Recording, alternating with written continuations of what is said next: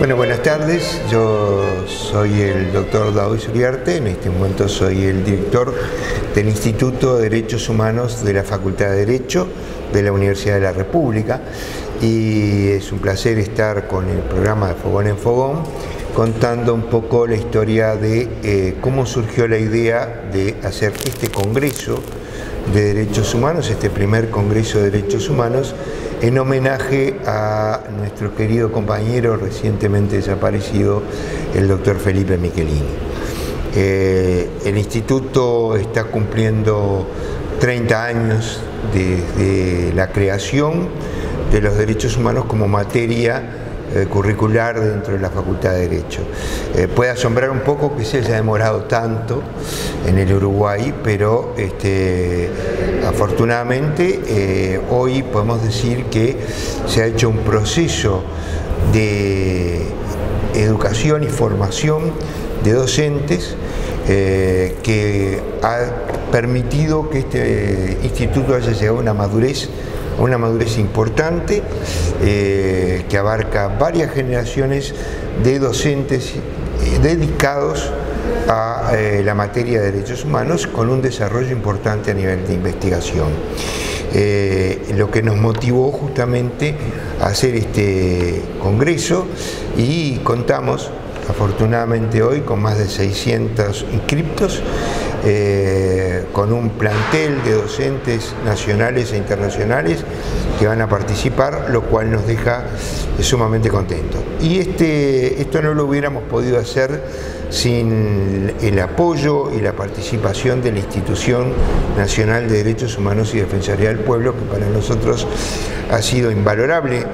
no solo por eh, su apoyo en la infraestructura, sino también por este, la difusión que le ha permitido dar este Congreso. Pero una muestra importante para nosotros de cómo ha madurado el Instituto de Derechos Humanos es que afortunadamente contamos dentro de la institución con dos de sus integrantes, uno de ellos es el doctor Juan Paropa, quien ha estado en la institución desde el comienzo y también con la doctora Blengio. Así que eh, yo creo que lo mejor es pasar a darle la palabra al doctor Paropa.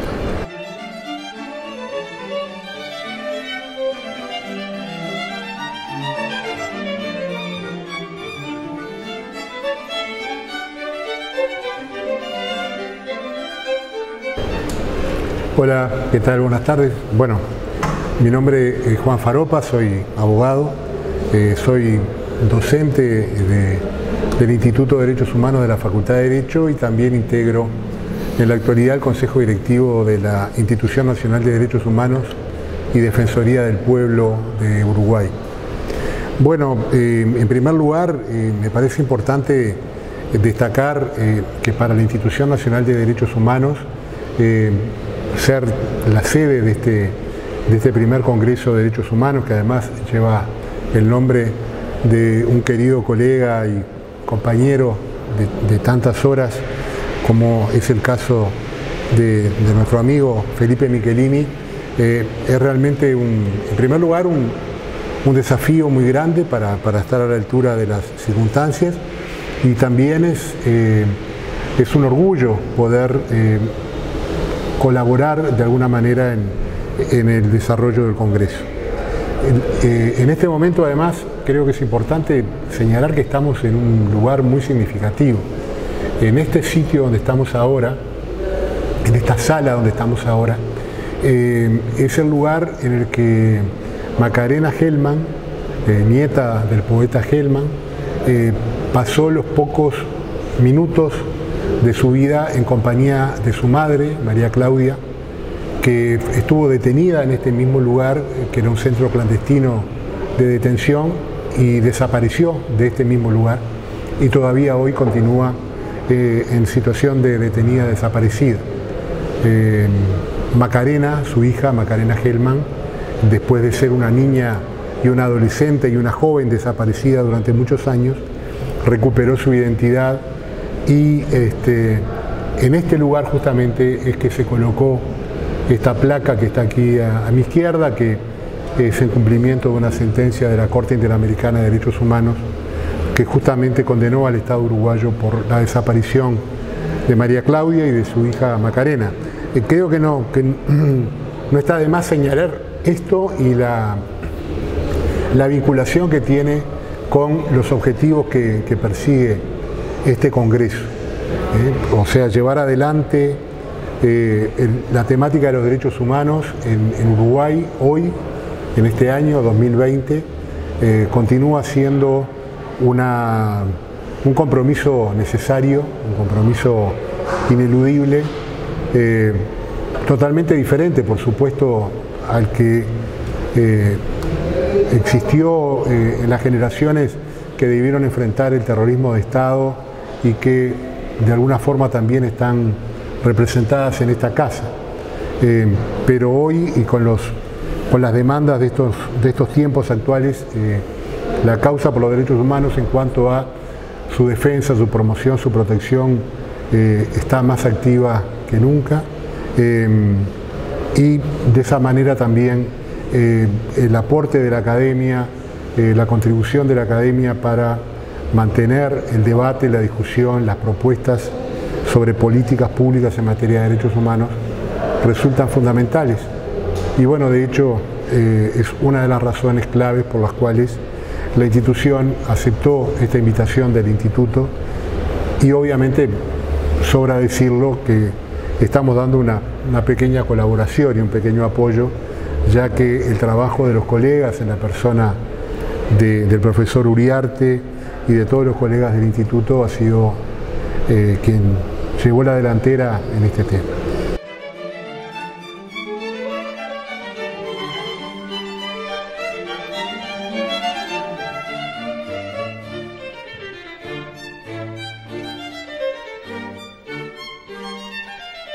Eh, mi nombre es Nicolás Vico, eh, yo también soy miembro del Instituto de Derechos Humanos. fui alumno de los dos profesores que, que anteceden en el año 2003 2004, este, tiene que ver un poco con, lo que fue la formación de esta materia. Esta materia en, la facultad este, e ingresa en el plan 89 y es una materia que los primeros docentes son los profesores que me anteceden. Este, sin duda este, tuvo grandes docentes como el doctor Pérez Pérez, este,